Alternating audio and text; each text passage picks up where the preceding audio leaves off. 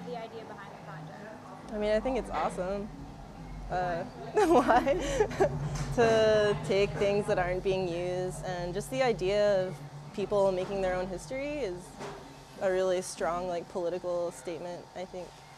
And like not uh, a lot of voices aren't heard in like a lot of the books that are at that are made like historically and in the library. So I think it's really awesome.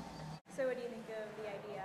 Um, I think it's great. I think it's great that it's bringing people out um, and teaching them also how to screen print at the same time. So I think that's really exciting. Does it have any personal effect on you what they're doing today? Are you going to like write in the books yourself? Um, I would love to. I think the idea is really great, and I can't wait to see the finished installation of all the books together.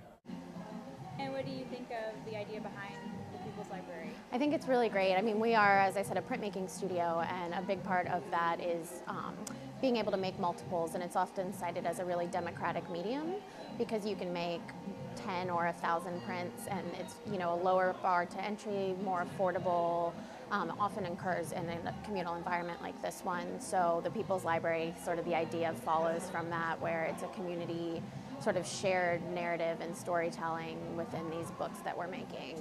And do you think that's something that Richmond needs or there's a lack of? Yeah, absolutely. I mean, I think that you know every city having sort of the ability for its citizens to capture their own story and document it in an artistic way is super important.